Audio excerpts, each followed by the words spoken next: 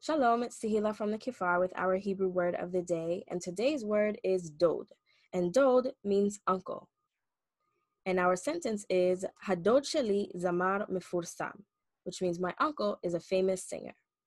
So dod is uncle, Hadod Sheli, my uncle, Sheli meaning my or mine. Zamar is a singer, masculine. The feminine would be Zameret, and there's a tav at the end. So Hadod Sheli Zamar, my uncle is a singer, and this word Mefursam means famous. So Zamar Mefursam, a famous singer.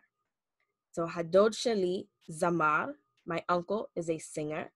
Hadod Sheli Mefursam, my uncle is famous. Hadod Sheli Zamar Mefursam, my uncle is a famous singer. And note that the adjective famous goes after our noun singer. So Hadod Sheli Zamar Mefursam.